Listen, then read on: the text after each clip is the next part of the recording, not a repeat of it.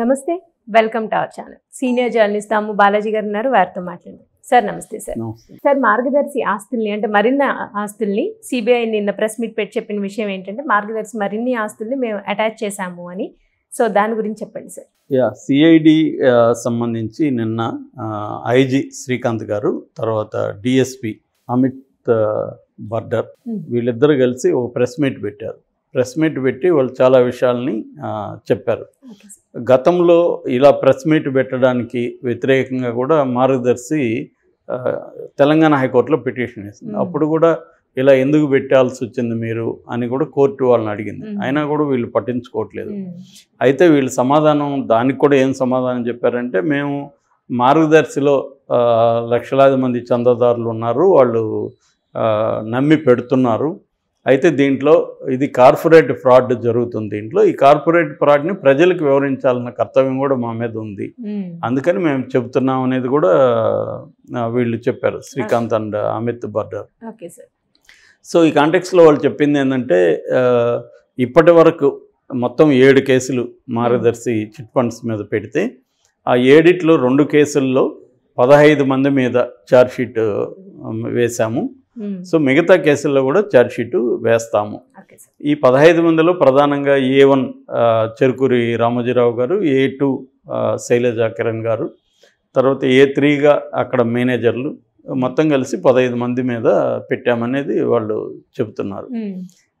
రెండో విషయం ఏంటంటే ప్రధాన విషయం ఇప్పటి వరకు మార్గదర్శి చిట్ ఫండ్స్కి సంబంధించిన చరాస్తులు చరాస్తులు అంటే ఆఫీసుల్లో ఉండే క్యాష్ కావచ్చు బ్యాంకుల్లో ఉండే డిపాజిట్లు కావచ్చు తర్వాత మ్యూచువల్ ఫండ్స్లో కానీ ఇతర కంపెనీలలో పెట్టిన డబ్బులు కావచ్చు. ఇవన్నీ కలిపి వెయ్యిన్ని ముప్పై ఐదు కోట్ల చరాస్తుల్ని వాళ్ళు స్వాధీనం చేసుకున్నారు అంటే అటాచ్ చేశారు. దానికి కోర్టు కూడా పర్మిషన్ ఇచ్చింది అప్పుడు కూడా జీవో నెంబర్ సిక్స్టీన్ ఎంతో వాళ్ళు తీసుకొచ్చింది హోమ్ హోమ్ శాఖ ఆంధ్రప్రదేశ్. ఇప్పుడు కొత్తగా వీళ్ళు చెప్పింది ఏంటంటే మార్గదర్శి చిట్ ఫండ్స్లో వచ్చిన డబ్బుల్ని ఆ చిట్లో కడతారు కదా ఆ. డబ్బుల్ని ఉషా కిరణ్ మూవీస్లోను తర్వాత ఉషోదయ ఎంటర్ప్రైజెస్లోను వీళ్ళు పెట్టుబడులు పెట్టారు అందులో ఉషో ఉషా కిరణ్ మీడియాస్ మీడియాలో eighty eight point five percent ఉన్నట్టుగా. తర్వాత Ushodaya ఎంటర్ప్రైజెస్లో forty four point five percent ఉన్నట్టుగా సిఈడి గుర్తించింది ఉమ్. సో దాదాపు పదహైదు కోట్ల విలువ చేసే ఈ పెట్టుబడులను కూడా ఇప్పుడు అటాచ్ చేసేందుకు హోంశాఖ పర్మిషన్ ఇచ్చింది. జీవో తీసుకొచ్చింది సో దీనికి సంబంధించి కూడా వాళ్ళు న్యాయస్థానంలో పర్మిషన్ కోసం మేము వేసాము. దీన్ని కూడా మేము అటాచ్ చేస్తున్నాము అనేది వాళ్ళు అనౌన్స్ చేశారు. అంటే ఇది ఎంత అయిందంటే protection of depositors from financial establishment AP act nineteen ninety nine ప్రకారం మేము వెళ్తున్నాము. ఈ డిపాజిట్దారుల్ని మేము ప్రొటెక్ట్ చేయాల్సి ఉంది. అయితే దీని మీద విమర్శ ఎప్పటి నుంచో కూడా ఏంటంటే మార్గదర్శిలో ఎవరు కూడా కంప్లైంట్ చేయలేదు కదా చందాదారులు. మీరెందుకు చేస్తున్నారు? దానికి కూడా ఆయన సమాధానం చెప్పాడు. గతంలో సత్యం రామలింగరాజు కావచ్చు తర్వాత ఆ, అగ్రి గోల్డ్ కావచ్చు ఇలాంటి కంపెనీలు కూడా వాళ్ళ మీద కూడా ఎవరు కంప్లైంట్ చేయలేదు. కానీ అవేమైనాయి దివాలా. తీసాయి అది కానీ ముందే కానీ గ్రహించుంటే ప్రభుత్వాలు చర్య తీసుకుంటే అక్కడ వరకు పోయే పరిస్థితి వచ్చేది కాదు. అందుకని ఎవరు కంప్లైంట్ అయినంత మాత్రాన ఫ్రాడ్ జరుగుతూ ఉంటే. అది న్యాయం అన్యాయం అయిపో అన్యాయం న్యాయం అయిపోదు కాబట్టి మేము ఫ్రాడ్ జరుగుతాం అనేది మేము ఎస్టాబ్లిష్ చేస్తున్నాము. అనేది వాళ్ళు చెప్పారు ఇది నిన్న వాళ్ళు చెప్పిన ప్రధానమైన ఇది దీనికి కౌంటర్గా ఈనాడు లో వార్త ఏమొచ్చిందంటే ఇది ఎప్పట్లాగే కక్షగట్టి మమ్మల్ని చేస్తున్నారు.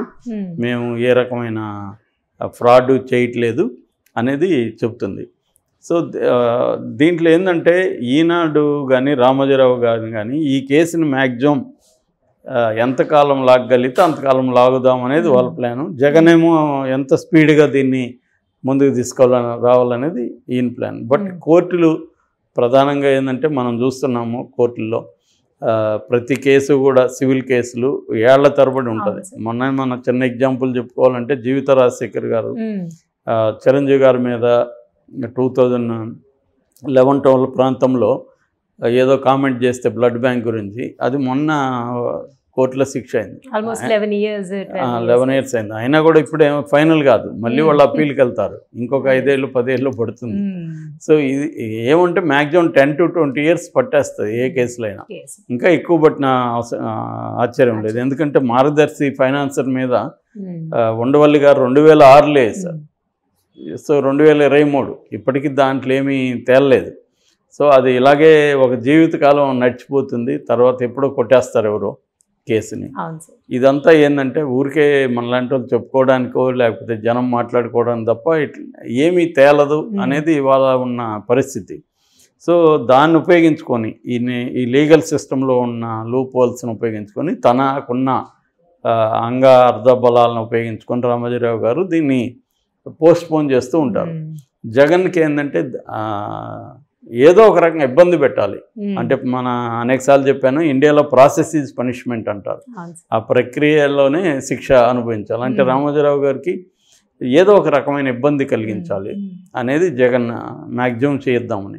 దానికి ప్రతిగా రామోజీరావు గారు ఈనాడులో బలం భయంకరంగా తెలుగు మన తెలుగు రాష్ట్రం ఆంధ్రప్రదేశ్లో ప్రతి చిన్న విషయాన్ని కూడా ఆయన భూతద్దంలో పెట్టి చూపిస్తున్నాడు. మొన్న రీసెంట్గా ఒక స్కూల్లో యూత్ జైని ఒక క్లాస్ రూమ్లోకి వెళ్ళి వర్షం పడుతుందని గొడుగులు పెట్టి మరి ఫోటో తీసేశారు. దాని మీద. ఇప్పుడు జగన్ క్రిమినల్ కేసు కూడా పెట్టిస్తున్నారు అంటే ఈనాడు కూడా ఆ స్థాయికి దిగజారిపోయింది.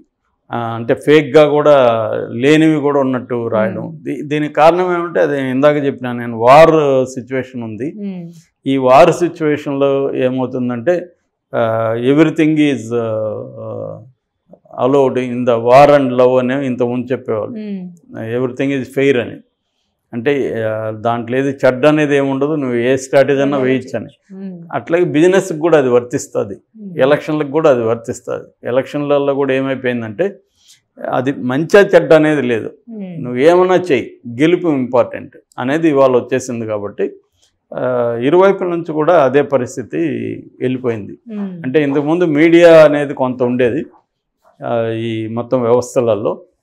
అంటే శాసన వ్యవస్థ తర్వాత కార్యనిర్వాహక వ్యవస్థ ఇవన్నీ ఎప్పుడో లాంగ్ బ్యాక్ భ్రష్టు పట్టిపోయినా మీడియా కొంతవరకు ఉండేది. ఇప్పుడు మీడియా కూడా మెయిన్ స్ట్రీమ్ మీడియా అంతా కూడా క్లియర్గా ఈ అధపాతంలో అంటారు అట్టడికి వెళ్ళిపోయింది. ఓన్లీ ఎంతో కొంత సోషల్ మీడియానే ఇప్పుడు ఉంది. సోషల్ మీడియా లేకపోతే నిజాలు అనేవి అసలు బయటకు వచ్చేవి కాదు సో ఆ యాంగిల్ నుంచి ఇవాళ రామోజీరావుకి ఉన్న మీడియా మీద దెబ్బ కొట్టాలంటే ఆయన ప్రధానంగా పిల్లర్ వచ్చి మార్గదర్శి రామోజీరావు గారికి. ఫైనాన్షియల్గా ఆయన ఇన్స్టిట్యూట్స్కి అన్నిటికీ సపోర్ట్ ఇదే. ఎప్పటి నుంచో అందరికీ తెలిసింది సో దాన్ని దెబ్ లీగల్గా దెబ్బ కొట్టాలనేది జగన్ వ్యూహము. దాంట్లో భాగంగా సిఈడి పనిచేస్తుంది. అయితే ఇప్పుడు రామోజీరావు గారు ఏంటంటే ఇదే మరి జగన్ విషయంలో కూడా జగన్ మీద కూడా కేసులు పెట్టారుగా ఆయన మీద కూడా ప్రూవ్ కాలేదు. అతనేమో ఆర్థిక నేరస్తుడు అంటున్నారు. మరి అతను ఆర్థిక నేరస్తుడైతే రామోజీరావు కూడా ఆర్థిక నేరస్తుడే కదా అనేది అడుగుతున్న ప్రశ్న ఇవాళ.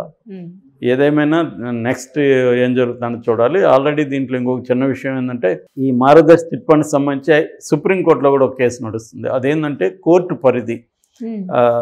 మార్గదర్శి అండ్ రామోజీరావు గారికి ఏమో తెలంగాణ హైకోర్టు కావాలి. జగన్ అండ్ సిఐడి చెప్తున్నది ఏమంటే మొత్తం ఇక్కడ జరుగుతున్నది ఆంధ్రప్రదేశ్లో కాబట్టి ఆంధ్రప్రదేశ్ హైకోర్టు చూడాలి.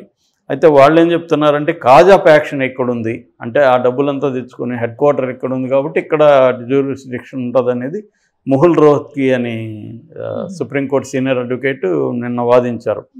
అయితే కోర్టు దాన్ని మళ్ళీ పోస్ట్పోన్ చేసింది ఆగస్ట్ ఫోర్త్కి. సో అక్కడ అది కూడా తేలాల్సి ఉంది. పలు కోర్టుల్లో ఈ విషయాలు జరుగుతున్నాయి. ఆ, మరి దీనికి సంబంధించి ఏం జరుగుతుంది అనేది మనం వెయిట్ అండ్ వాచ్.